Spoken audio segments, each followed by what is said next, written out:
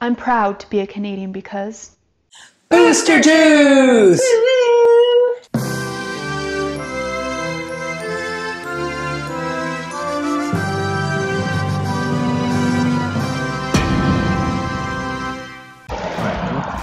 All right. We're at Booster Juice, which is a Canadian only place. Sorry, America. There's a couple locations in some states, but not many. I think there's two or three locations total, so you're gonna have to go for a bit of a drive. Oh well, what do you do? Photo bomb. Let's stop right here. Oh, anyway, go to the website, check them out. There's the facts. Booster Juice kicks Jugo Juice's ass. Yeah, it just Jugo Juice, it's okay, but it's not the same. Booster Juice came later to the game, but they did it right. Yeah, they're awesome. Pow! And our favorite is the Funky, Funky Monkey. monkey. If you're Oh, not sure what to get, you can always get a funky monkey. Mm, tastes just like a monkey that is funky. Cheers. Now, the first store was made in, Sherwood Park. which is near Edmonton. Yes. And now they have locations all across Canada, a couple in uh, the US, and they have some in Southern America as well, or South America, Southern America, as well as Europe. Yep. There's a couple locations. So, like I said, if you don't live in Canada, you're probably going to have to go for a drive.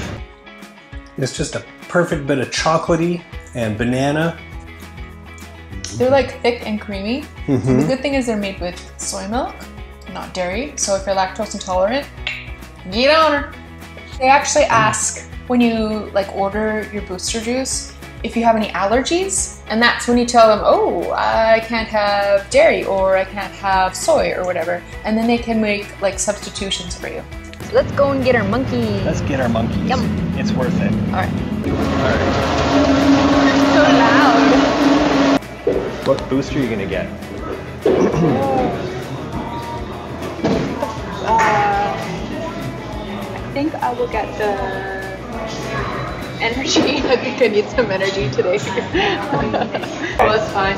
Um, can I get a Funky Monkey energy, please? Can I get a, a Funky Monkey Warrior? Jon. I'm starting to get brain freeze. I get brain freeze really easily. So whenever you have something that's cold, it just messes me right up. It's worth the brain freeze though. Now we're just waiting for our Funky Monkeys to be made, Make them fresh, and then we get to take them home. which is the best part. Enjoying them. Yum yum. Ooh. I should get a straw so I can shoot it at you. Thank you. All right. The Funky Monkey's a good one to go to. They got a bunch of other really good flavors. There was one that tasted like the strawberry Twizzlers. That was one of my favorite. I think it was a Himalayan sunshine or something like that. Or maybe it wasn't sunshine, but it was really good. My favorite is either the strawberry sunshine, or the mango hurricane, or the funky monkey.